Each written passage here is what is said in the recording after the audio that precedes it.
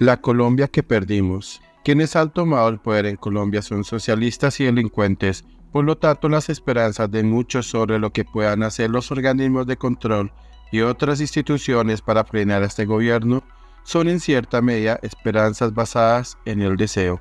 Columna de Vanessa Vallejo para Americano Media. A Colombia la perdimos.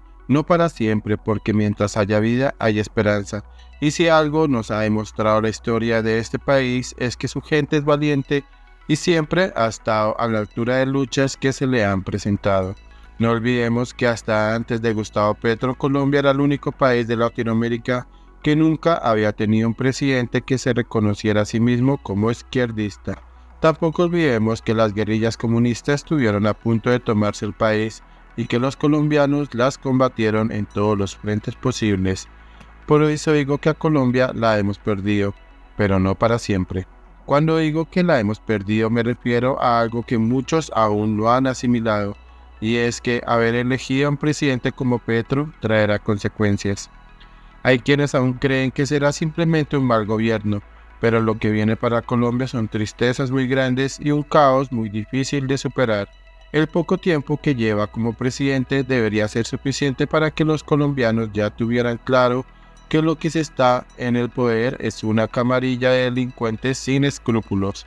Petro no solo tiene un largo historial de delincuentes, sino que ahora estamos esperando investigaciones como la referente a la entrada de dinero sucio a su campaña. En tan solo meses, muchos de sus ministros y gente que lo rodea están envuelta en grandes escándalos. Su propio hijo está siendo investigado por lavado de activos. El asunto entonces es que quienes han tomado el poder en Colombia son socialistas y delincuentes. Por lo tanto, las esperanzas de muchos sobre los que puedan hacer los organismos de control y otras instituciones para frenar a este gobierno son en cierta medida esperanzas basadas en el deseo, pero no mucho en la realidad. Los delincuentes no respetan la ley.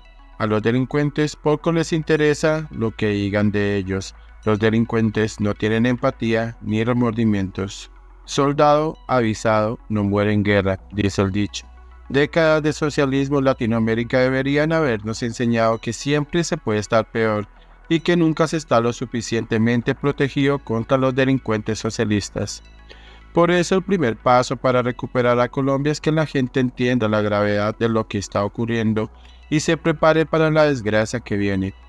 Las múltiples reformas que está sacando adelante Petro van a causar estragos en la salud, en la seguridad, en el empleo y en general en las condiciones de vida de los colombianos. De modo que cada persona debería tener un plan para buscar un segundo ingreso en caso de que se quede sin empleo, para ahorrar fuera del país, para buscar alternativas a todo lo que puede ocurrir. Dice la Biblia que los gobernantes son permitidos por Dios unas veces son buenos y otras veces son malos para castigar al pueblo. Por eso, como cada vez que las cosas no están saliendo bien, es necesario hacer una reflexión. ¿Qué hicimos mal para que este gobierno llegara al poder?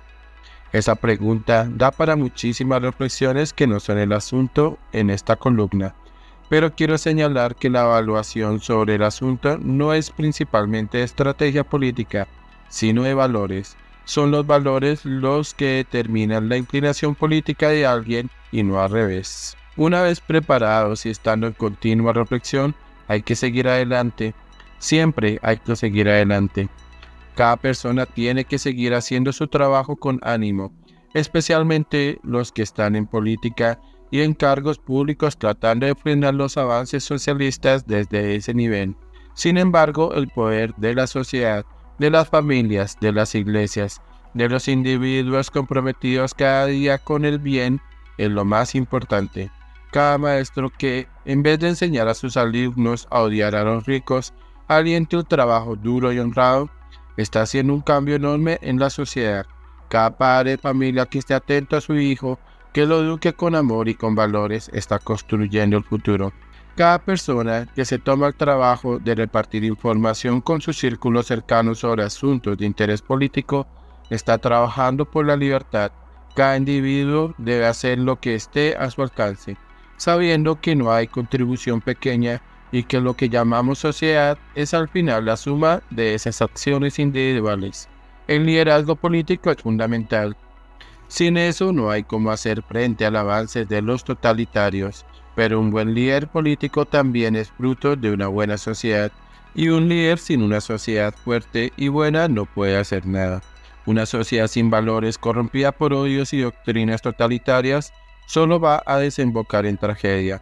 Por eso tanto la reflexión como el plan de acción no debe ir solamente enfocado a los liderazgos políticos, sino a lo que somos como sociedad, a lo que aportamos como individuos.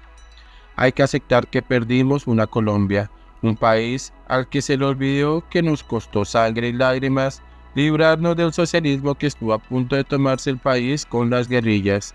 Por eso hay que trabajar en esa nueva Colombia, una que respete la vida, la propiedad y la libertad, esa nueva Colombia que retome sus valores y su buen comportamiento.